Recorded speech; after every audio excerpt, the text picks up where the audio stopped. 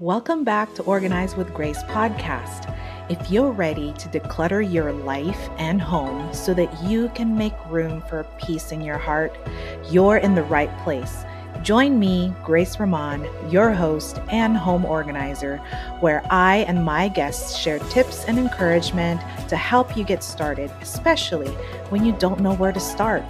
I'm here with you as you begin your decluttering journey, so let's get going. You ready? I am thrilled to talk with and introduce to you Haleh Shoa. Haleh is the founder and CEO of Picturli, a photo organization, curation, archiving, and design studio that helps families, individuals, and businesses transform their chaotic mess of photos into one clear and cohesive library. Haleh and her team meticulously organized their clients' photo collections into a searchable, secure, and easily shareable photo archive. Haleh believes that family histories and personal memories are some of the most valuable treasures that exist, and that preserving and sharing them is crucial for future generations. Haleh, welcome to the show. Thank you so much for having me. It's great to be here. You're welcome. You're welcome. Now, I love hearing personal stories, and so does the Organize with Grace community. So please, can you tell us what Picturli is? And I did a little bit of an intro before this, but I would love to hear it from you what it is and why you felt passionate about bringing it into the world. Yeah, Picturli is a photo organization, curation, archiving, and design studio because we do all of that. We organize family collections, we curate them because we all have a lot of stuff that we may not necessarily want to archive or keep, both digital and analog. Um, we archive the analog, we archive the digital to make sure it's backed up properly and uh, of course, we make sure that we come up with ways for our clients to be able to enjoy that. And that's the design part, whether it's photo books, websites, um, montages, you name it. So yeah, we are a full 360 agency. We manage everything soup to nuts. And it's been such an amazing journey. Um, I'm glad that you're asking me how it all started because um, well, the, the idea of archiving my own family stories came about when my family left Iran when during the Iranian Revolution in 1979. And as one can imagine, during a revolution, you just have to kind of pack up your stuff and leave right away. You don't really have a lot of time to ponder or even declutter, really. So my mom, um, in her wisdom, decided to make, she made sure that all the family heirlooms and albums which weren't a lot, but you know that she she would save that and bring that to uh, United States. And so, about a decade and a half later, I was working in advertising and I had access to a lot of high resolution scanners. And I would bring my family photos in uh, during off hours and I start scanning my, my items. And I had, I have family in four continents and I would email it to them and they would be like, Oh my God, where did you get all this? so that was like sort of the seed of how important archiving is. Um, and also really got me to start asking questions about who some of the people were in the, in the photos. Because if, you know, my father or my mom, if they were to pass, then I wouldn't have access to that. Right. So true. So mm-hmm. important to take care of this while you're still uh, engaged, you know, and still um, healthy enough to be able to talk about it. And you know and you still have access to extended family. If say you don't have access to your parents you have access to your cousins or aunts and uncles or whoever that may be to answer those questions. So that was the archiving part. And then at the same time i started investing in a camera and even though I'm not a photographer, I do love taking photos. And I would start taking photos. I never had kids, but all my friends would have kids. And I started doing photo shoots with their kids. And I started making photo albums and organizing all those photos. And it would just bring so much joy to everyone. Like I do a, a calendar every year and, and I still do actually. And, um, so that led me to really learn about digital organization. And so when I started to think about what kind of business I want to do, I basically dug deep and I thought, you know what? Honestly, the biggest joy in life for me is to do photo books. And that's when it, I began Picturli in 2016 with the idea of doing photo books for families and just um, institutions even. We have a lot of um, institutional clients as well that want to archive their their items, and um, and that's where it started. But um, so the and and the difficulty was when we did you know it's it's it's easy enough to say oh i'm just going to do a photo book. But then when we dug a little deeper we realized people really need help with decluttering their digital and as well as their analog stuff. Like they don't even know where to start right they could say well can we include that one photo of me when i was a kid and i think that's on an external hard drive or maybe it's on my old computer or maybe it's on dropbox you know? Yes. and, and that's when i was like oh this is a lot deeper than just doing a photo book. Haleh can i just say that um, you are probably a dream come true to many people that are like listening right now because they're like oh that's me. I'm like wondering where where my pictures are and i need i need help. I need help decluttering. So so yeah thank you for you know just i feel like you have really followed your heart and followed your family history and and making this into a business and and giving like you said people joy when when all of it is put together you know? So that is so neat. And that brings us to our topic which is seven steps to removing the chaos from your photo organizing project Holly help so that's my cry. Uh, um, if if no one wants to, you know, say that out loud, I'll do that for for the rest of our you know, people. Yeah, exactly. So I've actually I've actually designed a, a, a giveaway for anyone who signs up, which we'll talk about at the end of the podcast. But awesome. if uh, if they want to sign up to receive it for the, themselves, I can just touch upon some of the things that I cover in this giveaway. Um, uh, uh, you know, starting any or photo organization process really starts with a goal. Like you need to have a goal in mind and what your vision is for the end of it. Is it to downsize? So it could just be that you're going to go through all the albums and just take out the things that you want out of the albums so that you can just put them in, in archival boxes and you are able to throw away the albums and the photos that you may not necessarily want to keep. I know a lot of people have anxiety over the idea of throwing away photos, but I also know that a lot of my clients who inherit photos from their parents may not necessarily want to keep everything that was part of their parents' life, right? So they may not necessarily want to keep their parents' trip to Hawaii because um, it was their journey, right? It was their, it, I'm sure they want to keep the photos that their parents were in, but all the photos of the waterfalls and the ocean and the mountains, you know, no one's going to want to keep that or archive that. So right. have a goal in mind. Um, so, and then, you know, the next step of, of any so that would be step one right goal is like so yeah just just decide crucial. on a goal like do you want yeah. to archive it if you want to archive it you have to follow certain steps to make sure that you're capturing the the information in the photos um and then of course a, a goal for digital is you know um learning uh figuring out where all your stuff is you know so we have things that are trapped in Snapfish, Shutterfly, all the different platforms. Um, and those are all very technical ways of getting them out of those platforms. I call Shutterfly the jail of photos. they they present your photos is really really difficult to get those photos out of there.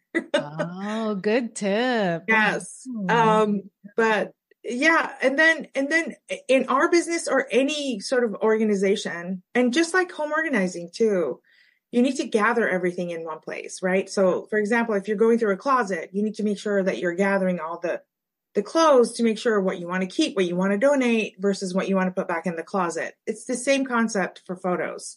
You gather everything in one place if you can. I mean, do we have clients who call us and say, Hey, I found another box all the time?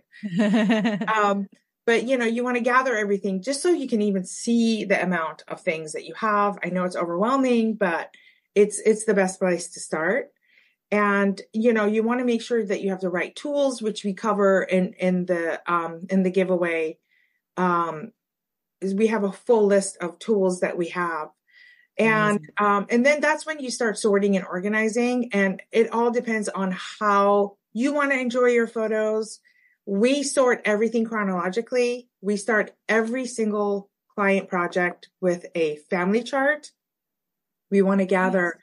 names uh, maiden names, birthdays, date of passings, weddings, anniversaries, whatever it is that gives significance that will help us not only organize it, but also to memorialize those events and those people in the photos.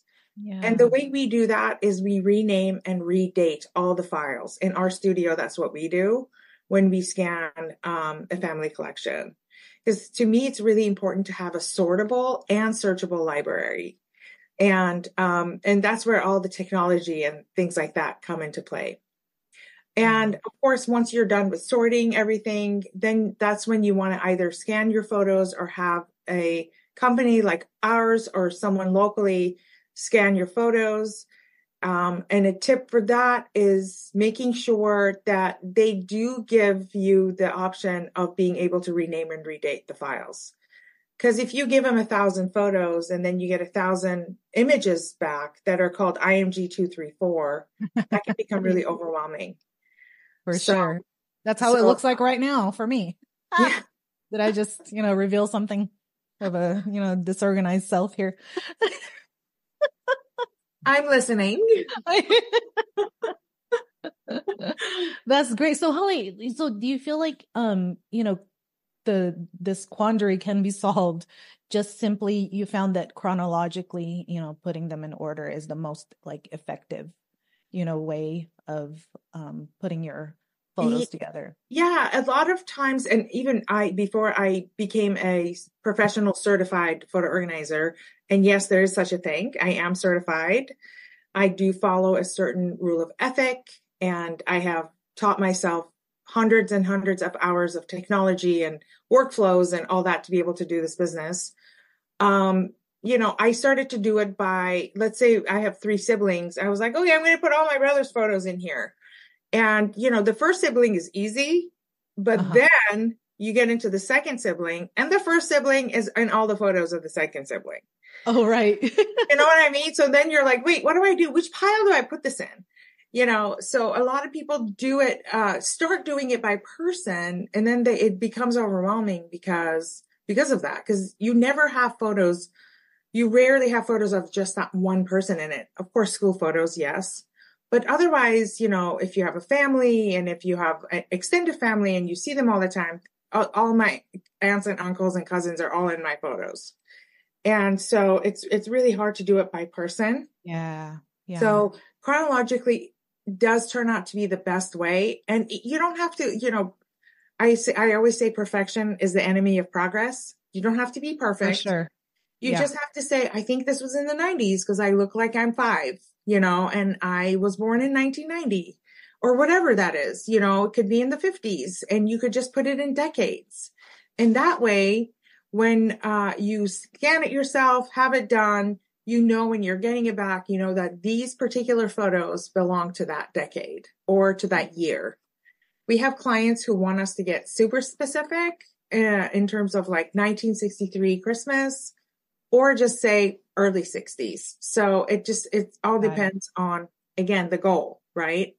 Yeah. What is the goal? Um, so, and, and of course, with every project, we want to make sure that we highly encourage all listeners to invest in proper storage solutions, whether that is for your digital, to get at least uh, two really good hard drives um, or archival boxes for your photos. And that can be found, you know, all over the map. Amazon has really good options. We love to work with a company called Archival Methods, which I'll give you the link and you can put it in the show notes. Um, but uh, proper storage solution is really, really, uh, it's really, really important. And of course, digital backup. You know, the thing is, yes, we could have a flood or fire that can, of course, destroy our analog memories, but that's yeah. Much more rare than a hard drive or computer dying. And those things are not backed up. Oh, or wow. your phone yeah. is not backed up and you drop it and you lose all your phone photos. So digital photos are actually a lot more at a lot more risk of getting lost. So make sure that your digital life is properly backed up. Oh, that's that's really really good. You're it, it's so true. And we don't you know, we think a lot about our I mean, I'm going to totally date myself, which I don't care, you know, about our, you know, analog photos getting lost, but you're right. Like I mean, it digital can go in a snap. Yeah, right? without uh, yeah, yeah. I, I had a client who didn't know um actually a lot of people don't know the difference between backup and sync. And I do want to touch upon that. Yes, please. So a sync is a, think of sync as a two way highway, right?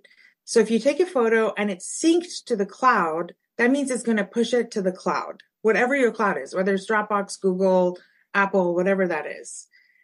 And so if you delete it from that device, whether it is on the computer or on your phone, it deletes it everywhere. Why? Because it's a two way highway. It's a sync.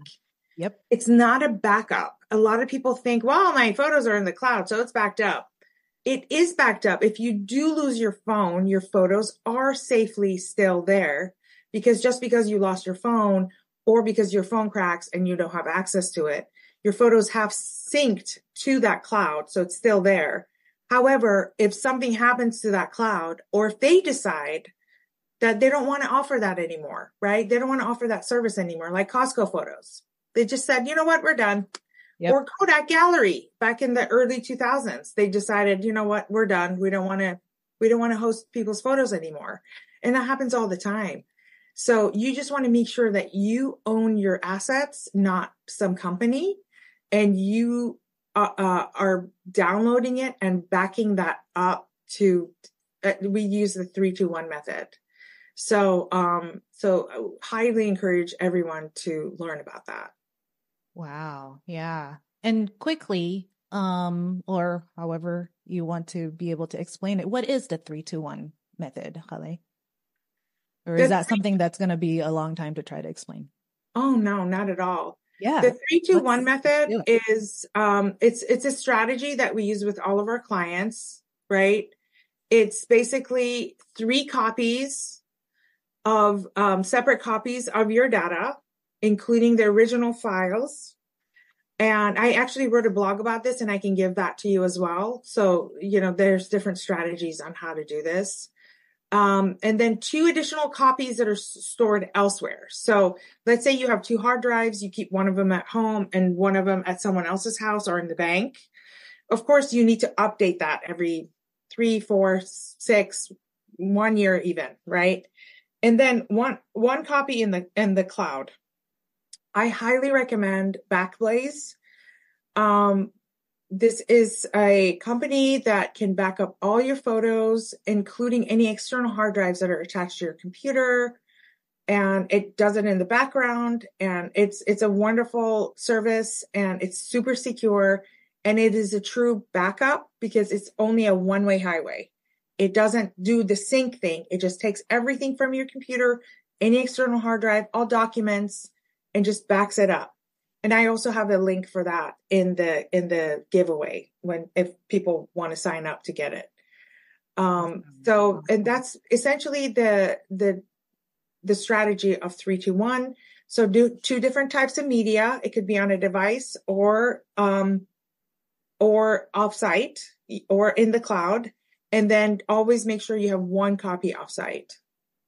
Yeah, that is that is awesome. Super secure, making sure that nothing is lost. That's right. yeah. So, so far we've gone through the few steps, like you said, you know, goal, you know, gather, um, and, you know, gather them in, in all one place. And I'm going to try to, you know, keep track. And three is to, um, you know, chronologically, right? Is that the third step? So what are the next steps? Um, it's, it's, it's about, it's not about, uh, it's about sorting. So yeah, sorting. I, yes. yes. So the idea is about sorting things, right? So okay.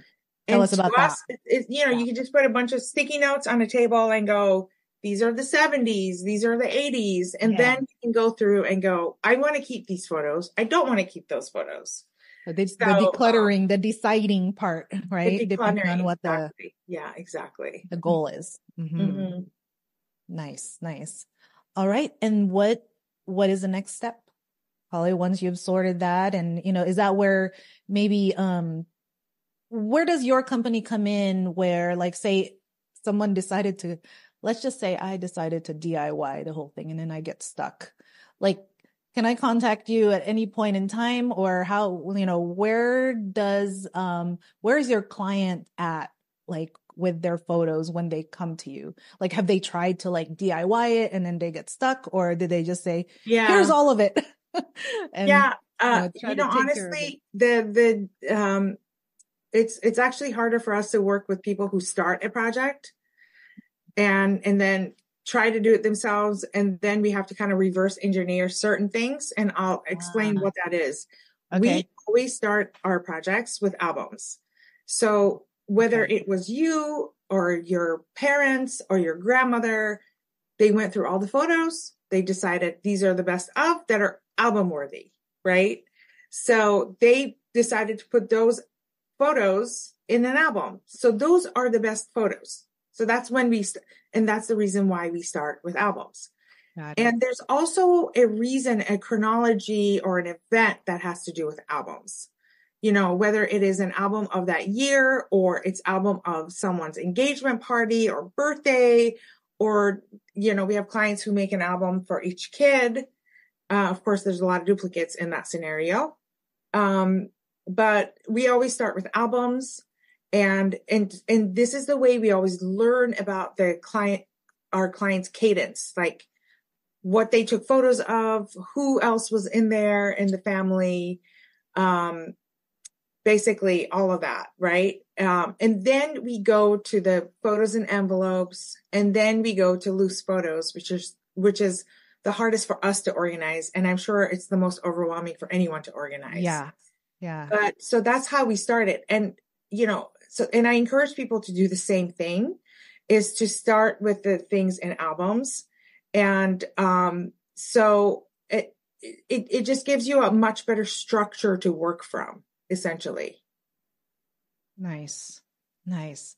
And now you've seen lots of accumulation, you know, through collected through generations and, um, and we've talked about where we begin and i'm so glad you know thank you for all of these pointers because like it really we feel overwhelmed you know at the amount of it but if you were to take it step by step like you said mm-hmm. you know to to try to um do it this way how how long um i guess it depends on the amount right like how long it, would it take you to you know put it all together like if it were um you know if a project was given to you like on on average sure um so it, I always say, I, I, know, I know it's really hard to say when it depends. It depends. So it depends on the size of the project.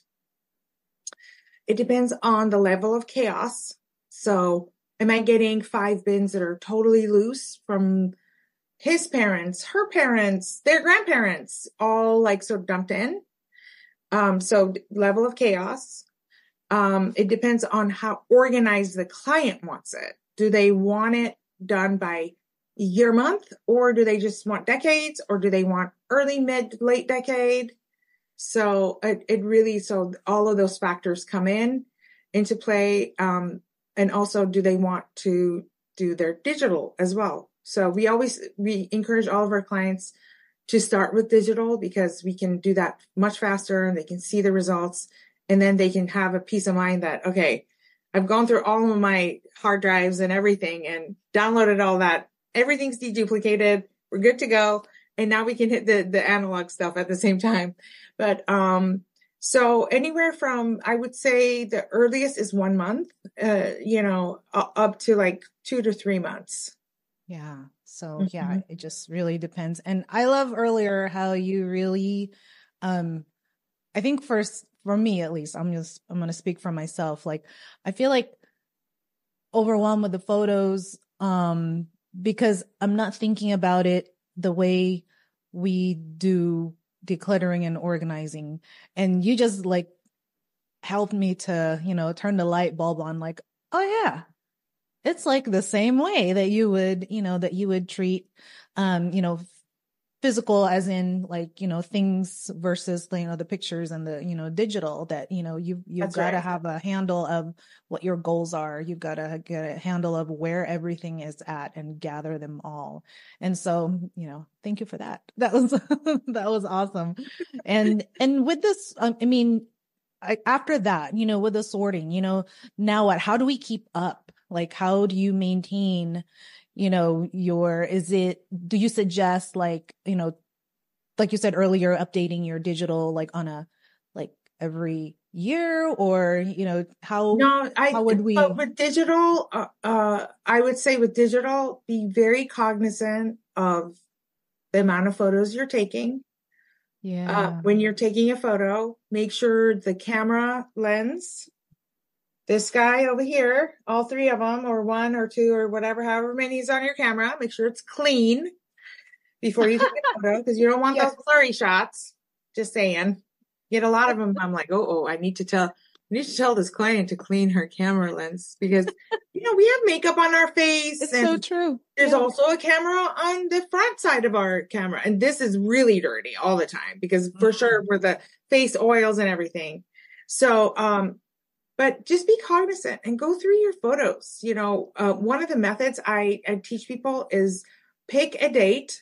So let's say, let's say on a Sunday morning, you know, you want to devote half an hour, 45 minutes to your photos, right?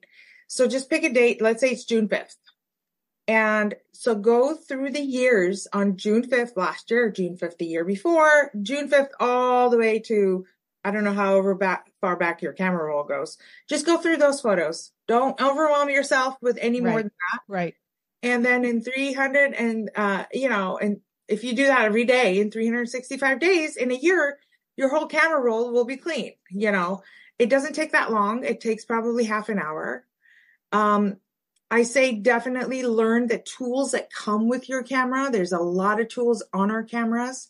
For example, on an iPhone, if you go to albums and scroll all the way down, there is such a thing as du- du- duplication remover. So you can click that and you can trust the, I know for iPhones, you can definitely trust it.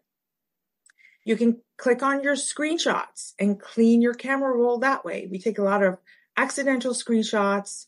We take a lot of screenshots to remember things. We take a lot of screenshots to email to someone else or text to someone else. And so there's definitely ways to clean up your camera roll. Um, and just be cognizant of when you're, when you're taking photos, um, of going back and looking through and hearting the photos that you like. That's another thing. That's another really great trick. Both Androids and Apple allow you to option of favoriting photo use that option. Yeah. Favorite the yeah. photo that you like. So then that way you can go back and find it easily in your favorites. That's cool. Thank you for that tip. And funny, I was laughing because I found a lot of like my, you know, my son learned how to, you know, do a selfie uh-huh. and he's taking pictures of his toes or whatever. It's a lot of his nose, right? It's a lot of this.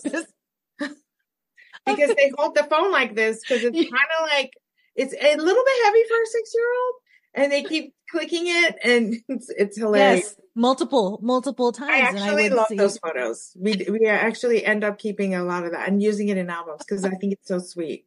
You will laugh forever about those photos. That's so funny. Oh man. And you know, are you finding, and you said you started in 2016, are you, are you finding from that t- time on a rise in demand for your services. I'm sure you have.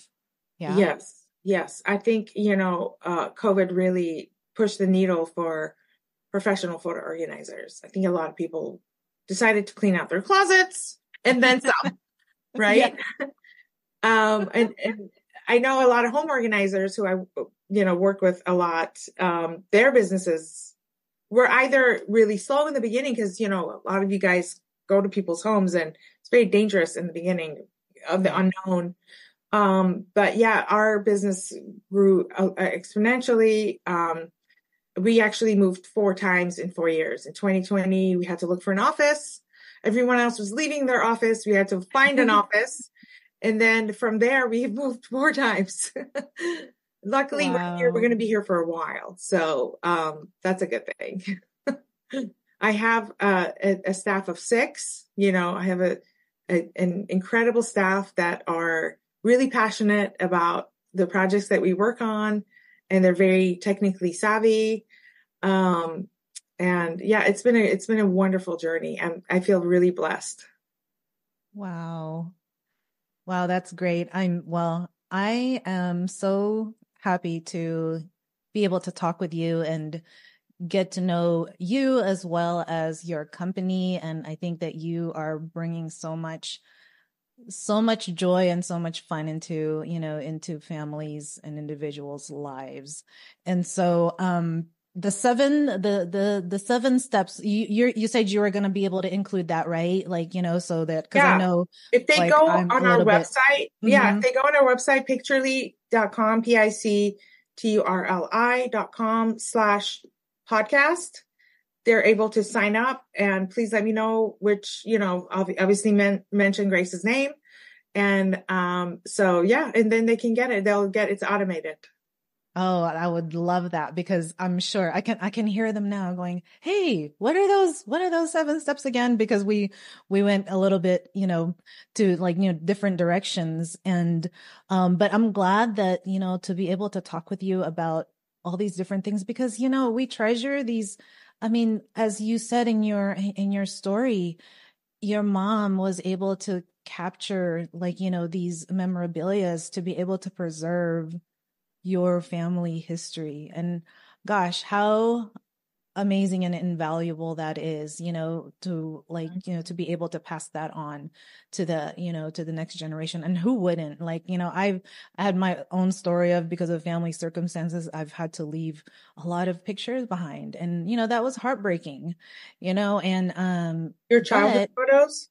my childhood photos yeah i was able to save um you know some of it but we had to leave my house like abruptly when i was a like a, a teenager and so it it was hard i look back and i'm like man but you know now maybe that's why i have a tendency to you know hoard all pictures but that's a whole that's a whole another story um but now that I have, you know, I know someone like you, you know, I can easily say, you know what, I want to preserve what's to come. You know, I have a six year old and, you know, I want to be right. able to give him that gift of whatever I've, I had and, um, you know, put that together so that it, it lives on, you know, so, um, and Haleh, I know we talked about it a little bit. Like, where where can people find you, and including your, you know, website? I would love to um, hear where people can connect with you.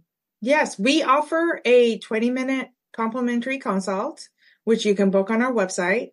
Again, that is, I, I'm sure it's going to be in the show notes. Yes. Um, so picturli.com and, uh, please follow us on Instagram. We do a lot of really quick snippet, good, uh, tips and tricks. And um, we post a lot of really fun project uh, things that we're working on. I'm also on LinkedIn and um, uh, we're also on Facebook. We post on there as well.